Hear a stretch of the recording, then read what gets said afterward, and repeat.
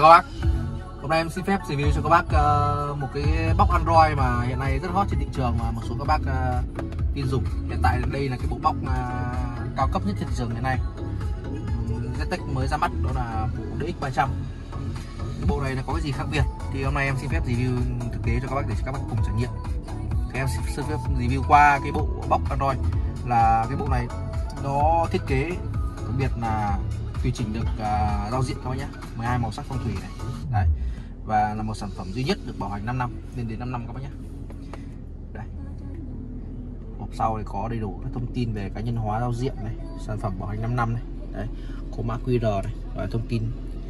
Đấy, đây là cái vỏ hộp các bác nhé sản phẩm ấy thì nó sẽ có đi kèm một cái thẻ bảo hành chính hãng như này các bạn này. Đấy, thẻ bảo hành chính hãng toàn quốc. Ghi rõ DX300 đấy. Và mỗi một sản phẩm đều có một mã số như này nha các bạn này mã seri này. Đấy. Để kích bỏ điện tử các bác nhé đấy. và được tặng kèm một cái sim ờ, uh, ZTEC gói một tháng. Đấy. dùng khoảng 4 nghìn một ngày. Đấy.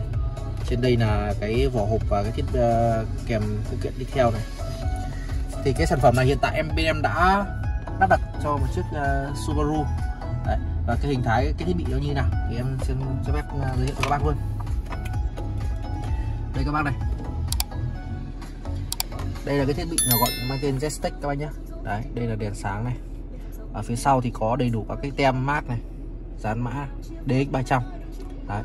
Và bố trí khu vực à, thẻ SD này để cắm thẻ SD hỗ trợ lên tới 128 g này và khe cắm sim. Đấy bên này là cổng HDMI đấy có thể kết nối màn hình gối. Đấy cổng kết nối màn hình gối để xuất màn hình gối quá nhá. Đấy. về cái bộ bóc thì để em so sánh với một cái chiếc điện thoại thì em thấy là nó khá là nhỏ đây cái vỏ điện thoại này. Đấy, nó cũng khá là nhỏ gọn. Đấy. thì các bác chỉ cần cắm cái cổng à, cái thiết bị này vào cái cổng USB của xe cái cổng USB mobile các bác nhé đấy xe một số xe thì nó sẽ có hai cổng. Đấy, một cổng kết nối cắm sạc và một cổng kết nối uh, kết nối với mạng thì lưu ý với các bác là cái thiết bị này ấy hiện tại thì nó chỉ đang hỗ trợ cho những cái dòng xe mà đang à, cái màn hình ấy mà có hỗ trợ CarPlay các bác nhé đấy. đấy có hỗ trợ CarPlay thì mới sử dụng được cái thiết bị này. Thì đây là chiếc à, màn hình zin của Subaru này nguyên bản thì nó sẽ không xem được video như này các bạn đấy.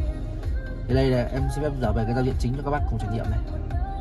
Đây là cái giao diện chính của à, thiết bị các bác nhé đấy. Các bác có thể tùy chỉnh 12 màu sắc giao diện là như thế nào. Thì đây các bác chỉ cần bấm vào hình hình như này thôi. Đấy. Thì ngay lập tức nó sẽ trở ra các cái giao diện màu sắc để các bác có thể lựa chọn. Ví dụ như là tím mộng mơ này các bác thì bấm vào lưu này. À, có cho chạy động hình nền hay không? Các bác bấm có này có thể có này. Đấy. Sẽ chuyển ra màu tím hoặc là màu vàng. Nếu các bác thích màu vàng. Lưu. Có. Đấy chuyển ra màu vàng hoặc là màu đỏ. Đây, màu đỏ. Ừ. đây nên là mỗi màu hoặc là các bác thể thay đổi cái màu sắc để tạo ra cái sự đổi mới. Đấy. ở đây thì nó có đầy đủ cái thông tin ví dụ như là ngày giờ này. Đấy. Lịch âm lịch dương. Đấy thứ ngày tháng. Và hiển thị cái nhiệt độ hàng ngày ở đây. Đấy, các bác phải để nhìn ý này. Ngoài ra ở đây thì ờ, nó có cái mục là khi bác xem video mà có cuộc gọi đến các bác có thể dừng ngay video ở đây. Đấy các bác dừng ngay video nhé đấy và hỗ trợ ngay ba bản đồ ngoài màn hình. Các bác có thể bấm vào phần description này. Đây. các bác có thể là sử dụng Navitel Google Maps hoặc là Việt Map. Thường thì là à, các bác luôn sử dụng cái bằng Việt Map để có hỗ trợ cảnh báo tốc độ nhé các bác có thể bật lên. Đây đấy. Đây các bác có thể thấy luôn cái vị trí xe của mình vị trí hiện tại. Đây. Ngoài ra thì các bác ờ, cái giao diện nó sử dụng như nào thì các bác có thể vuốt ngang. Đây. đây cái độ nhạy thì nó cũng khá là ok nhé đây. đây là cái giao diện phía trong ngoài. Tất cả các dòng sản phẩm ờ, của Ztech khi mà lắp đặt thì các bác ờ, nên yêu cầu đại lý lắp đặt. À, cấp các bác cái thông tin bảo hành ở đây đấy có thông tin bảo hành này. Đây có thông tin bảo hành của các cái bách sổ em đã kích ở đây các bác nhá. Và có cái phiên bản cập nhật này. Đấy. Mà cập nhật đây này. Nếu các bác mà sau này mà có cái vấn đề gì về phần mềm ấy thì là rất là dễ dàng cho cái việc update. Các bác chỉ cần bấm vào đây và còn phần mềm gì các bác thì update ngay trực tiếp tại đây luôn. Không, không cần phải lên sát play. Đấy và thường sẽ có thông tin đại lý này để các bác ờ, cần gọi. Nếu các bác không lưu số hotline hoặc là không lưu số của đại lý thì thường đấy đại lý ở đây đã đặt là gì và số hotline ở đây các bác nhá. Thì hiện tại bên em thì là số hotline là 086 967 9626 đấy, các bác có nhu cầu đặt thì có thể bên em. Hoặc là những khách hàng mà đã đặt của bên em ấy mà hoặc là các bác mà lắp đặt rồi nhưng mà vài năm quên mất là cái đại lý lắp đặt của mình có thể là họ đã chuyển địa điểm mà các bác à, cần kiểm tra lại để có thể là có cái số hotline để có thể gọi để cần hỗ trợ về mặt kỹ thuật thì các bác có thể là bấm vào cái thông tin đại lý ở đây.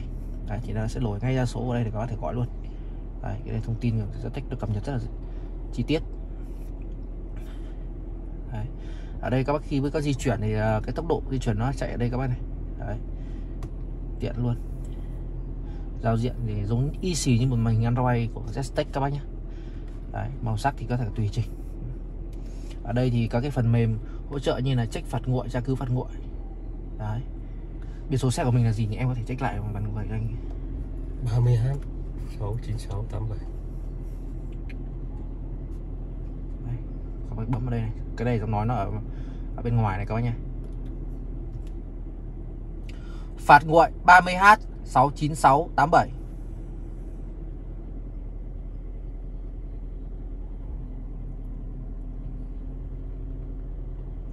Đấy, các bác chờ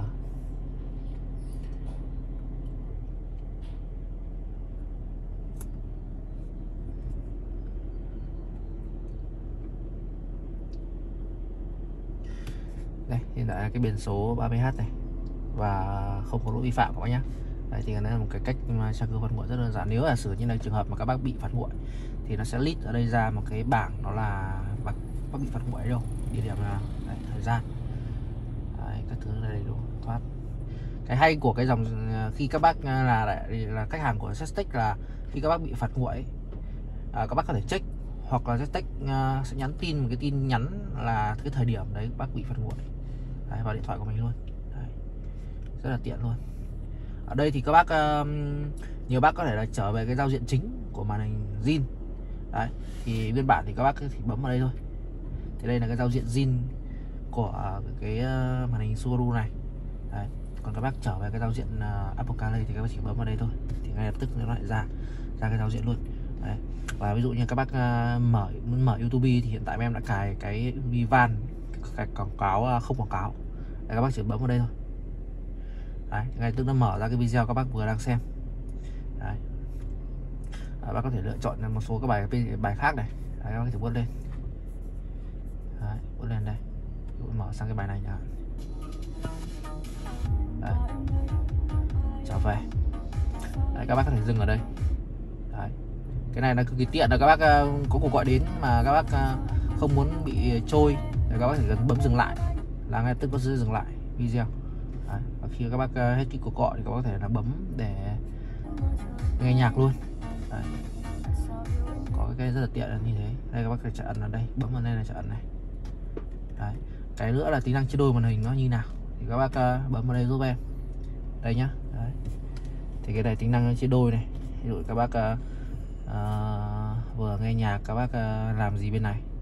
Để bấm bên này này nghe nhạc này. Đấy, bên này thì các bác uh, bấm cái uh, gì đấy. Hiện tại em uh, chưa có cái thông tin cụ thể gì trên bên này thì các bác thể bấm. Đây là hai dụng chế độ màn hình này các bác có thể là vừa nghe nhạc vừa dẫn đường bên này. Đấy, chế độ sử dụng màn hình. Là tiện lợi. Còn các bác thoát cái chế độ chế độ màn hình này thì các bác chỉ cần ví dụ như các bác muốn giữ lại cái bên video này các bác chỉ cần vuốt sang thôi. Đấy, thì là tự động full màn hình các bác nhé. Đấy hoặc là các bác ờ, muốn xóa những ứng dụng mà nó chạy lần chạy ẩn đi. Đây ví dụ như một số ứng dụng chạy ẩn này. Đấy, các bác có thể là xóa bớt ngang này xóa đây. Đấy, xóa bớt như kiểu này. Đấy. bớt ngang này xóa. Xóa đi. Đây cho chạy lên này. Và cái phần uh, xe thì nằm một cái thiết bị cắm ngoài. Đấy, nên là về cái kết cấu của xe là không thay đổi bất cứ một cái chi tiết gì và cũng không ảnh hưởng can thiệp gì đến cái phần mềm của xe các bác nhé. Đấy, đấy là hoàn toàn sử dụng qua một box Android này như này thôi. Đấy và cái chế độ trở về màn hình zin các thứ là B trở về này. Đấy, giọng nói thì nhiều xe thì nó sẽ hay hơn là nó tích hợp ở trên cái ờ, vô lăng này. Con này thì nó lại cái màn này thì nó lại để cái giọng nói là ở cái trên ờ, trên ờ, đầu màn này. Đấy, thì các bác này phải bấm vào đây. Đấy, còn nếu mà thường rất nhiều xe đa phần là những dòng xe thì đều có tích hợp trên cái khiển vô lăng. Thao tác nó sẽ rất là tiện lợi tiện lợi rất là nhiều. Đấy. tiếp tục mượt mà mượt mà ok đây. Đấy. Ở trên đây thì nó cũng đầy đủ cái phần mềm để các bác có thể là kiểm tra. Đấy. Ba bản đồ sử dụng. Để cơ bản nó chỉ thế thôi. Ví dụ các bác có thể là uh, muốn xem cái kênh VTV em cũng update luôn để thao tác cho các bác để con thấy đây. Các bác bấm này mở VTV1 để em cài luôn cho bác chủ. Đang mở kênh VTV1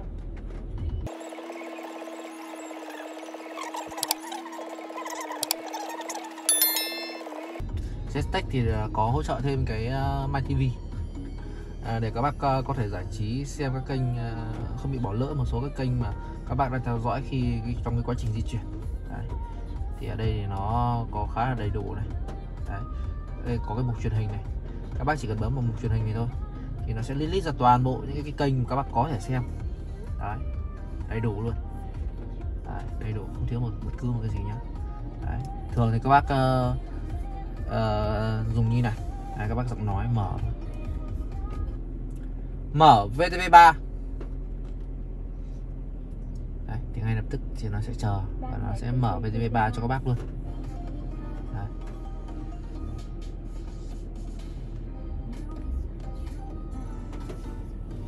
Đấy. thì nó mở VTV3 cho các bác này nhưng mà cái dòng thiết bị này là nó có thể chạy chip 8 nhân nên các bác có thể thấy là nó vừa mở cái cái VTV3 ấy, nhưng mà nó vẫn còn âm thanh của cái video trước đó em đang đang đang chạy ẩn YouTube 3 đấy thì nếu các bác ờ, muốn xem bình thường các bác mở TV ra thì các bác uh, vui lòng tắt giúp em cái những cái phần mềm nghe nhạc cái thứ nhá. Bởi vì đây là dòng chip 8 nhân này nó có thể chạy cùng lúc đa nhiệm. Giống như máy tính ấy các bác thể mở nhiều video mà nó vẫn có thể là, là phát được ra rất là nhiều dòng âm thanh. Thì cái dòng uh, chip 8 nhân thì nó làm được điều đó. Dòng chip 4 thì không. Đấy.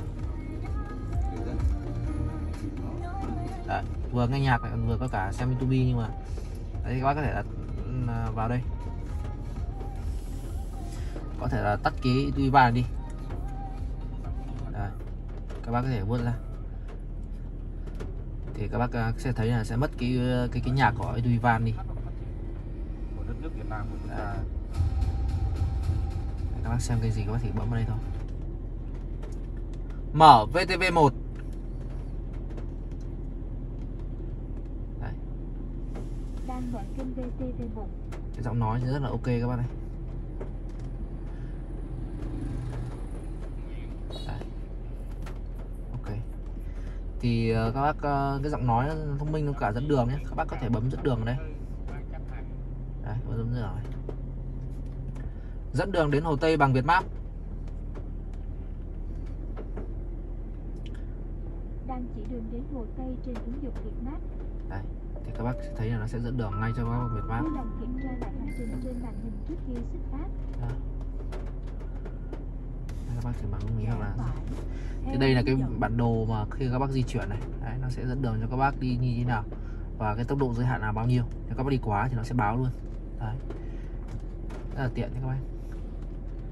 Ở đây thì nó sử dụng à, cùng lúc à, bác có thể là ở đây nó có hỗ trợ các bác là bấm ngay ra và lựa chọn cái bản đồ nào mà mình có thể sử dụng cần. Thì các bác thể Việt Map hoặc là Google Maps. Đấy ngoài màn hình luôn đấy thì các bác có giọng nói đôi khi các bác à, có thể check giá vàng này. Giá vàng hôm nay thế nào? Hiện tại, vàng SJC tại Hồ Chí Minh có giá mua vào là 68 triệu 950 nghìn đồng một lượng, giá bán ra là 69 triệu 850 nghìn đồng một lượng.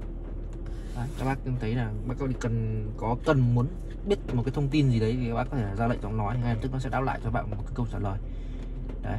Tất nhiên là sẽ không phải là tất cả những câu trả lời đều ờ, là, là, là đúng theo cái ý mong muốn nhưng mà nó cũng sẽ hỗ trợ các bác rất là nhiều. Ví dụ như các bác có thể check cái nhiệt độ thời tiết hôm nay ví dụ các bác muốn quan tâm.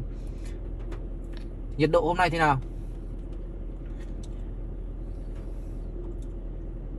Mình chưa hiểu rõ Đây, bạn. Để hỏi. Nhiệt độ hôm nay thế nào? Thời tiết ở Xuân La, Tây Hồ. Đây. Tây Hồ hôm nay được dự báo là mưa cường độ nặng. Nhiệt độ thấp nhất là 22 độ C, nhiệt độ cao nhất là 29 độ C. cái này nó cực kỳ thông minh là các bác đứng ở đâu ở cái địa điểm nào đấy nó có GPS nó bắt ở đấy thì cái, dự báo thời tiết thì nó cũng đúng ở cái điểm đấy luôn đấy nên các bác ví dụ như là các bác ở tỉnh thì các bác bấm thì nó cũng ra giọng nói ở cái khu vực của các bác hiện tại em ở Xuân La Tây Hồ thì à, nó sẽ ra báo là của Xuân La Tây Hồ các bác nhá đấy đây là cái thông minh rất là tiện lợi à, cái phần cài đặt thì anh ở anh ở đây anh nhá. Đấy, thì cái này thì anh cũng không cần cài đặt là nhiều lắm vì ra em đã cài đặt rồi. Đấy phòng này thì cũng mấy cái tham khảo thêm. Cái này thì nó vừa thu vừa phát anh ạ. Tức là hiện tại em đã tặng kèm sim 4G thì bình thường sim 4G nó nổi đây. Đấy. trong cái trường hợp mà à, mình à, bị mất sim 4G mà mình muốn à, phát wifi từ điện thoại ra thì anh có thể bấm vào cái phần mục à, cài đặt này trong mục wifi này mạng này. Đấy thì ở đây nó sẽ cần bấm uh, wifi thôi là tự động kết nối này. nó sẽ lồi ra list ra file kết nối mạng có sẵn. Đây đây. Đầy đủ. Rất là tiện. Thì trên đây là cái video mà bên em giới thiệu cho các bác uh, sơ lược nhất về cái bộ uh, DX36 300 hiện tại là K Plus bên em đang uh, phân phối và lắp đặt trực tiếp cho các bác. Đấy. Thì các bác có nhu cầu liên hệ có bên em. Hotline là 0869679626 kplus.vn các bác có thể là vào website của bên em để tham khảo cái sản phẩm này. À, cảm ơn các bác đã quan tâm và theo dõi. Chào các bác.